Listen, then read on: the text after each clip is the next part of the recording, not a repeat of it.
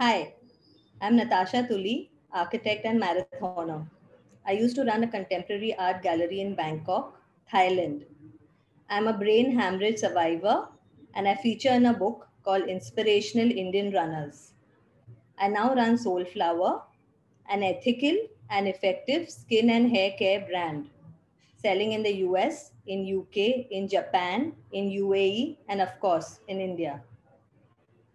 We were recently selected for the Amazon Accelerator program, and I have actually met Jeff Bezos in the flesh.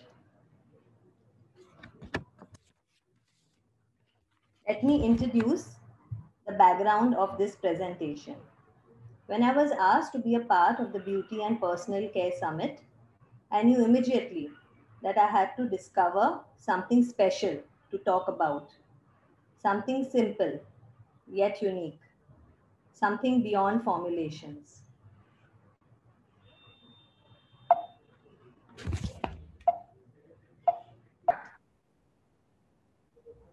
And that's how I decided to talk about my purpose of making soap, my experiments with truth, and the thoughts that emerge. As part of the LIFE project, I spend a week collecting memories, ingredients, sketches, and conversations with consumers that led to conceptualizing each bar of soap that I make. Let's put on my magic glasses and look at the world where soap is not just a cleaning device, but more the work of a wellness alchemist who converts everyday ingredients that you may find in any kitchen into a bar of soap.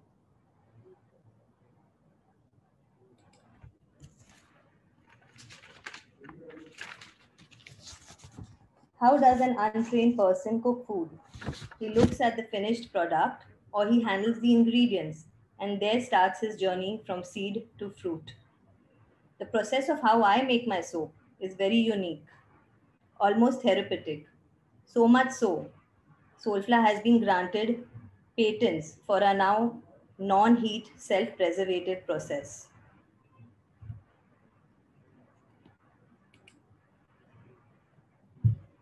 Being a visual artist, I think in images. I visualize my customers touching, feeling, smelling the soap, the effect the soap will have on him or her. I dream of how I should make my soap story. So once you hold it in your hand, you won't put it down.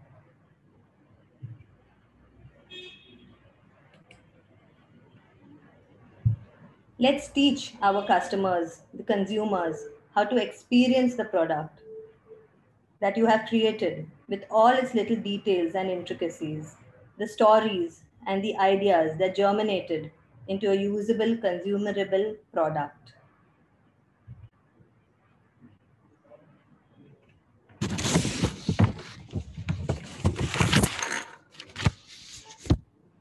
So, what are the few things that conjure memories that take you back to the start of the story. Sight, what you can see, what you see every day, what you remember that you have seen in the past. Smell. I think smell is one of the most important memories. I, I remember all the smells from the time when I was a little girl, and I'm sure you do too. The concept of soap is to cleanse your body. At the same time, Soap making is about experimenting, being curious, using intuition, playing with emotions, and creating a multi-sensory bathing experience. Touch. Of course, touch is one of the uh, earlier memories we have. Uh, you may have a memory, uh, you know, of your mom touching you or being cuddled or being hugged or things like that. So I think touch learning different textures, what to touch and what not to touch. I think that is one of the biggest and the most early experiences that we learn. A soap making process requires a good balance of the left brain and the right brain. Thinking, seeking to investigate the chemical reasons behind the transformation of ingredients, as well as the artistic sensory wellness. and technical components of a new and an innovative soap.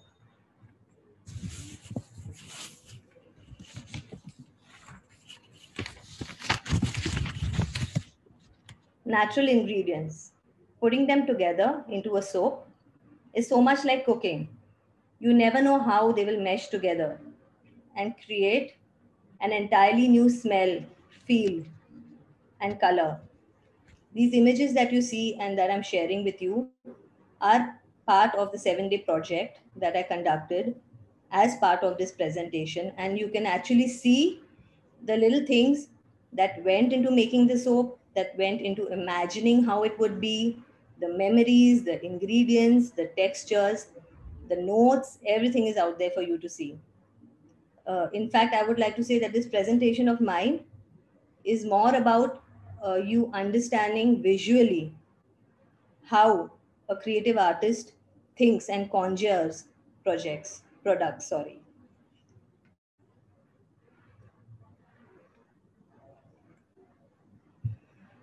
The magic of carefully chosen ingredients, merging, melting, mixing, and transforming into a botanical wonder.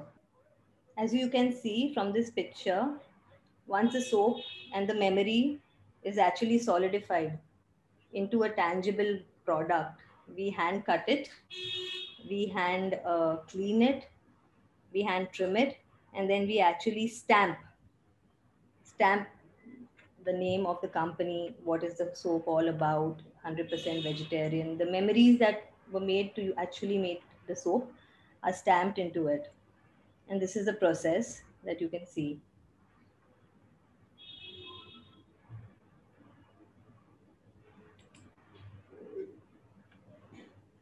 Of course, apart from memories and uh, feelings and emotions that go into making a soap and conceptualizing a soap, there is a market pulse.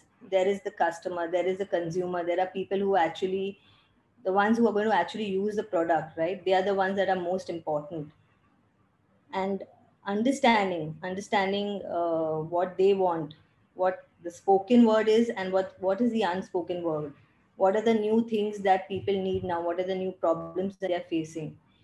As we make our soaps with essential oils with herbs with fruits with vegetables they have a lot of therapeutic uh, benefits and value also.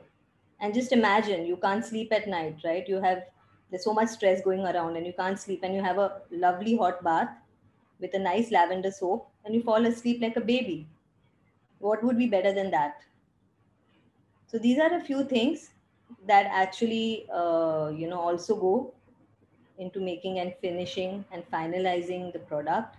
The aroma as we spoke about how is it going to smell like? The texture how is it going to feel like when you use it? Is it going to be like a slick soap when you have a bath?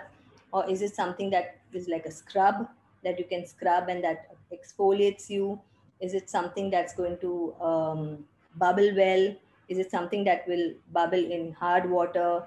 It could be soft water any kind of water anywhere. How are we how are you going to package the soap so that the customer can easily open it and use it?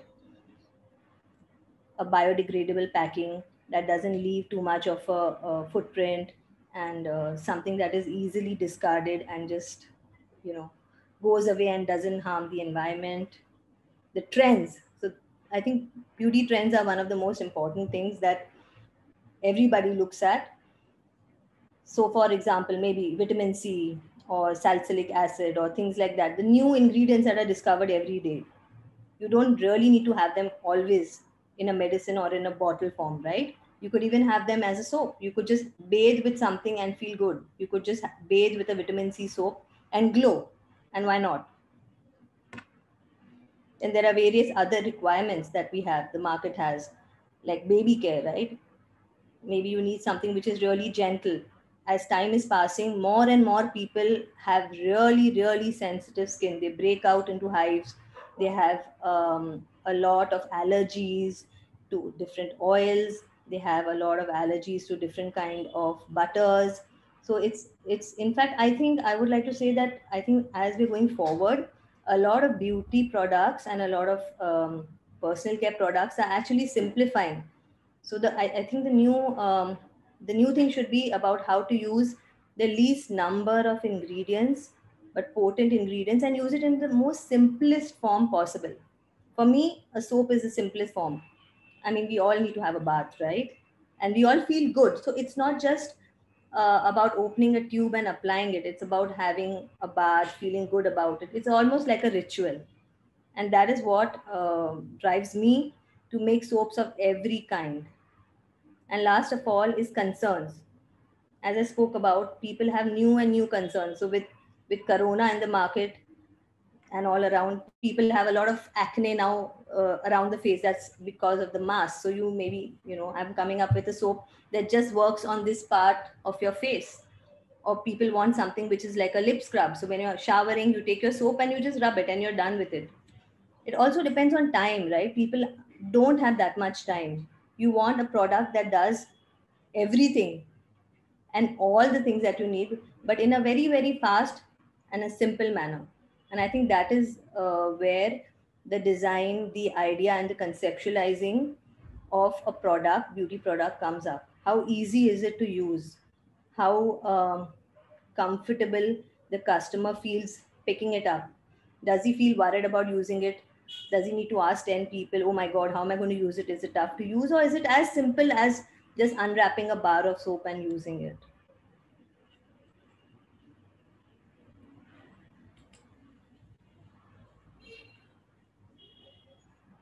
so using these memories and concerns and talking to consumers for over years we've actually i actually counted and i counted and uh, I can actually, I actually make more than 80 varieties of soap.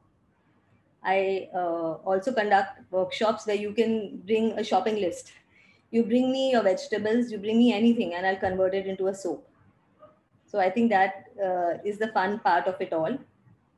And all these 80 varieties uh, are made with various kinds of oils. We use coconut oils, we use olive oil, we use jojoba oil, all different kinds of oils are used, castor oil. And every oil has its own personality. It's like human beings. So if you you know in a family if you, you know in a family there's somebody who is um, always friendly and there's someone who's very reserved. And there's someone who always gets who, you know who's a little short tempered and there's someone who is always cool and calm so i think if you look at ingredients uh, the oils that we use in our soap they are like people so coconut oil is very bubbly you make a soap with coconut oil and you'll have lots of bubbles but it doesn't moisturize you at all. If you use olive oil, olive oil will give you the most smooth, soft skin that you ever wished for, but no bubbles. If you use castor oil, castor oil is antibacterial and it also helps in a lot of skin conditions like itching and eczema and things like that. So when we design the soap, what we actually do is we use a blend of various oils so just like in a family, you've got to understand the personality of everybody and kind of, you know, somebody is a little too much and somebody needs to be uh, motivated to speak up like that. In the same way, these oils are actually, uh, you know, we understand the quality of every oil and we put just the right amount. So you actually get a soap that has all the amazing quality that you would ever wish from a soap.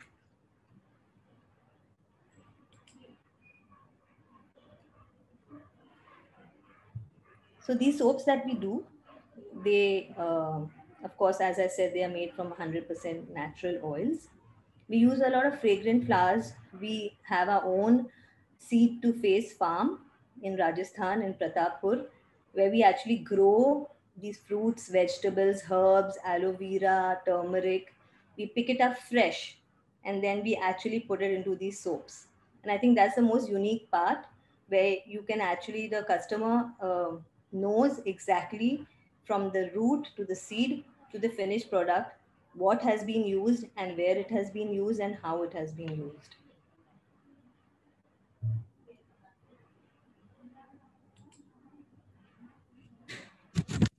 This, of course, is my favorite soap, most favorite soap that I've ever made, and it is also uh, my highest selling soap. It's a sandalwood soap it's actually made from my childhood memory, a simple childhood memory transformed into a soap. A thought. a smell, a feeling. I call this my favorite soap, a combination of skin loving and natural ingredients turmeric, walnut powder, besan, that's gram flour, and sandalwood, blended like magic with my mom's love and care. Ask me about my inspiration behind this sandalwood cleansing soap. And uh, I will just tell you about the days I remember when I was a little kid and my mother would cover me, cover me with milk and with uh, sandalwood paste and with flour and all these things. And I remember myself running away. And, and the other thing that I also remember is the horrible, horrible smell. So when I actually started designing soaps, this was, I think, probably the second or the third soap that I designed. And it was mainly because I know these things are really beneficial. These ingredients are really beneficial. But just like I hate putting all these things on my face and body because they smell yucky and you've got to sit for hours, I just thought, what if I have like a single bar, a single thing that somebody could use that encapsulates all these memories and the benefits and all those generations of knowledge passed from my grandmom to my mom to me. What if i just make into one single product? And that is how this uh, soap came about. This soap uh, amazingly has also been clinically tested and proven to reduce the melasma of your skin so it's not just a memory it's a memory that actually works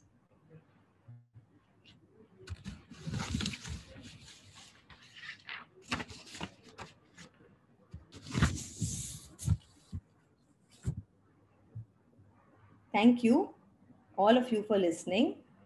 I hope I generated some insights and inspiration for how you look at a bar of soap. Please post your questions in the chat box and I will make sure to answer. Thank you and bye bye.